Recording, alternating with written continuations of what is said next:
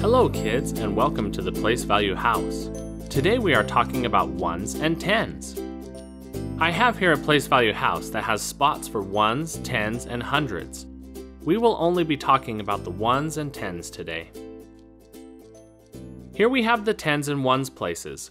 There are rules in this house that have to be followed, and one of the rules is that you can only have one digit in each room.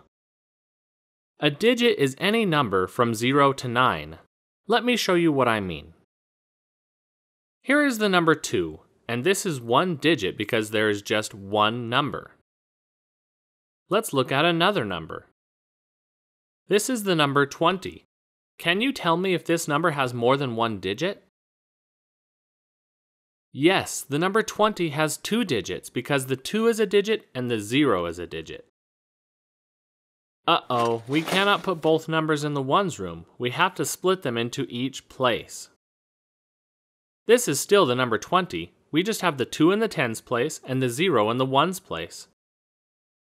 Now that we have that rule out of the way, let's look at some place value blocks. Here is a ones block. This ones block is worth 1 and is represented by the number 1. What if I add more ones blocks to the ones place? How many ones blocks do I have now?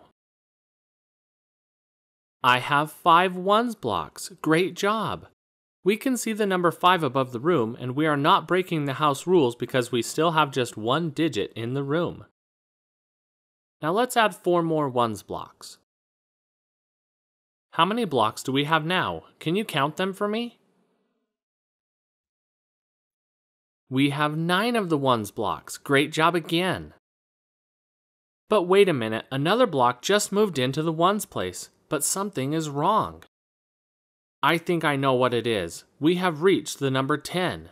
Because we have reached the number 10, we have more than one digit, and we are breaking the rule of one digit per room. Now, here is the really cool part that I learned the other day. Watch what happens to the blocks when there are 10 of them in the ones place. All of the 10 ones blocks stuck together to form what we call a tens block. This is a group of 10 ones called a 10.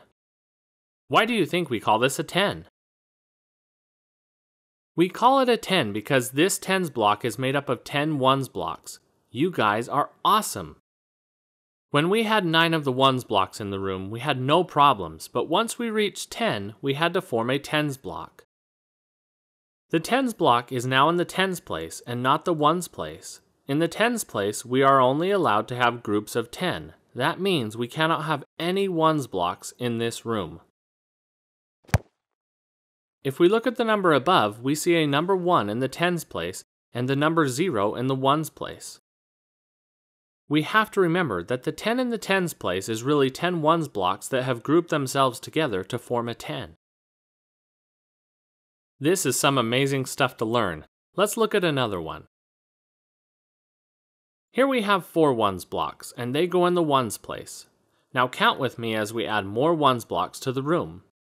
Five, six, seven, eight, nine, and here comes one more. Once we have 10 of the ones blocks, we have to group them into what? We group them into a 10. Great job!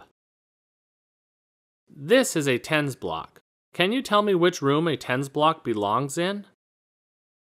It belongs in the tens room. You guys are amazing at this. We now know that when we have 10 ones blocks, it is grouped into a 10. The number 10 means 1 10 and 0 ones because there is nothing in the ones room. Wow, this has been amazing. Thank you so much for helping me. Come visit me again real soon. Goodbye.